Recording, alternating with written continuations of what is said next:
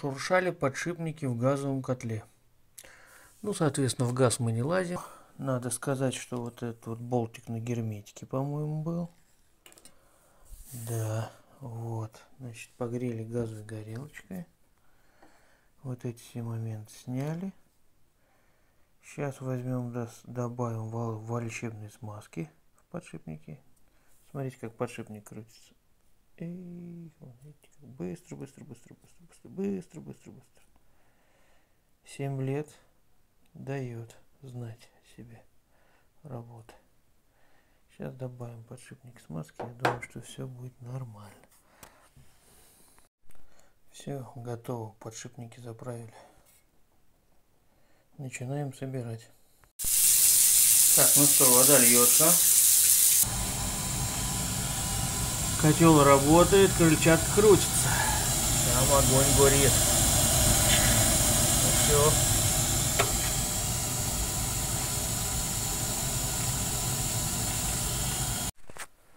Так, ну что, вчера газовый котел отремонтировали. Подшипники. Вот. На ракушке, которая воздух засасывает. А сегодня ремонтируем мульчер те же самые подшипники, только побольше. Чуть-чуть. Ну вот, все вчера разобрали благополучно. Сейчас будем вот эту разбирать. Валик вот этот. Надо втулочки туда вставить вальщебные. Вот, и потом, соответственно, будем все это хозяйство назад собирать. Сюда втулки заказал у токаря. Вернее, не сюда. Вот это, вот эта штука, вот эта штука заходит вот в эту втулку. Вот сюда.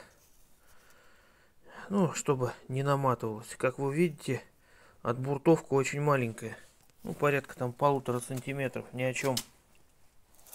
Сюда трава наматывается.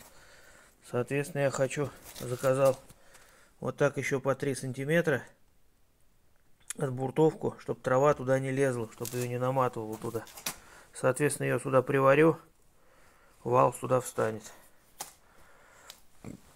Ну вот, хоть мультер и китайский. Ну, блин, железяки, конечно, сделаны вообще прямо мощнейшие. Вот эти вот вещи.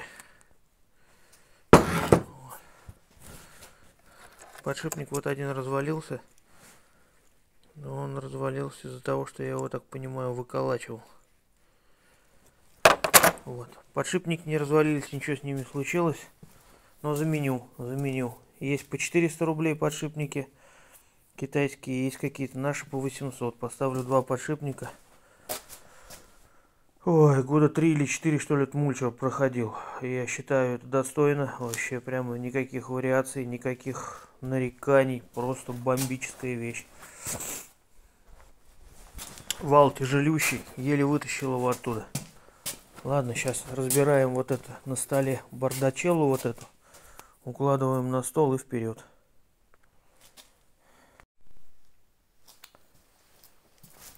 Ну вот, вроде и все. Сейчас при...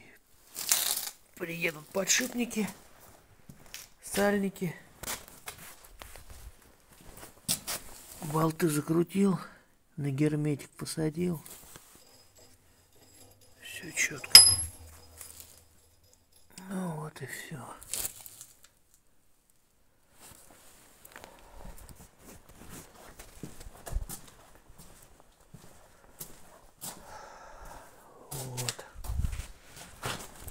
Осталось только сюда втулки посадить. Втулки тоже сегодня вечером приедут. По наружке приварю их. И все. Соберем. И опять, как говорится, в работу.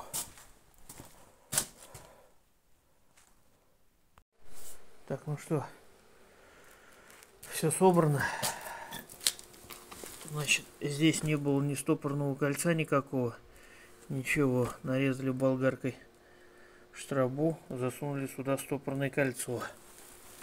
Так, здесь грязи отбойник сделали.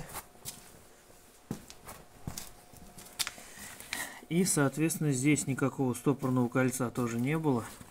И вал немножечко туда-сюда ходил, где-то по пол сантиметра. Соответственно, вот в этом месте он чуть-чуть вал шлифовал. Пришлось сделать набойку, чтобы, короче говоря, подшипник осадить плотно. То есть подшипник прям заколотили туда тихонечку 500 граммовым молотком. И сделали стопорное кольцо. Все. Сейчас будем собирать вот эти все вещи, шкивы, валы. Ну и в принципе все собрано уже. Готово дело. Так, ну все подсобрал.